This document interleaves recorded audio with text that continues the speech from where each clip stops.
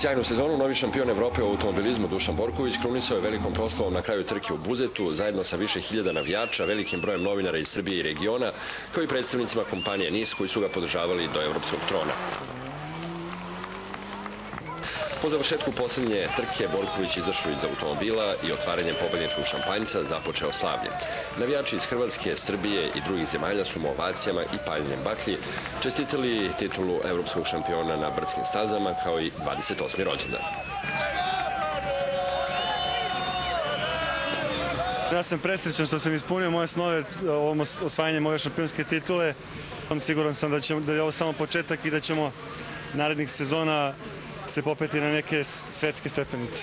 Ja želim da, da, da nastavim svoju karijeru i da imam e, saradnju sa svojim sponzorima isto kako sam imao i da osvojim sledeće godine još neki šampionat, možda i ovaj, još neki ili neki drugi, to sad neko ostane tajna, vidjet ćemo sve. Svečani doček Dušana Borkovića i proslava titule šampiona Evrope u automobilizmu biće održani utorak od 19 sati ispred Skupštine grada Pančeva.